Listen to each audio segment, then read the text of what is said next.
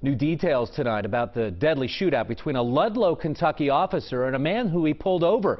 Just minutes ago, we received a photo of the cop involved in last night's shooting, Officer Sam Hodge. We are also learning more about the dead suspect's mindset about police.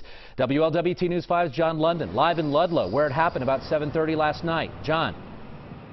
Yeah, Riverside Marketplace, uh, Mike, right behind me here, not far from where Charlie Reynolds lived. Friends of his say that he had negative views about government and about police. Now, whether that factored into what happened behind me here is an open question tonight. This was the scene around 7.30 last night, an example of what a seemingly routine traffic stop can suddenly turn into.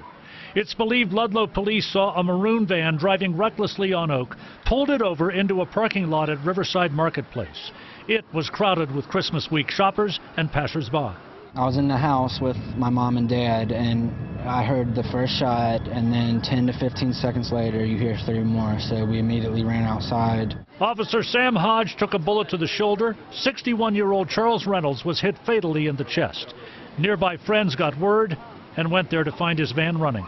And no Charlie, and his boots on the, on the pavement. And it was really sad. Everybody who showed up here last night grieving for Charlie.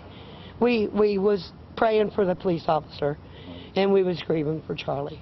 Those who knew him say he resented a recent run-in with police at his residence. Friends say officers were there on some sort of drug offense involving a relative. When Charlie comes down in his kitchen, there's officers in his kitchen with weapons drawn without being invited in his house. And in his mind, that was home invasion. He considered that a home invasion. Tuesday night's exchange of gunfire happened at a very familiar place to Reynolds. The manager at Family Dollar told us he was there several times a week.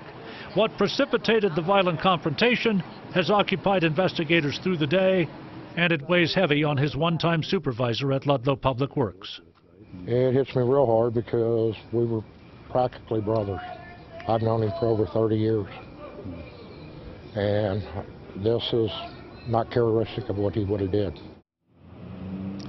And Ludlow Chief Scott Smith tells us that police have had pretty much zero contact with Charlie Reynolds over the years. Key questions about the number of shots, who fired first, and what, if anything, the body cam video shows remain unanswered tonight.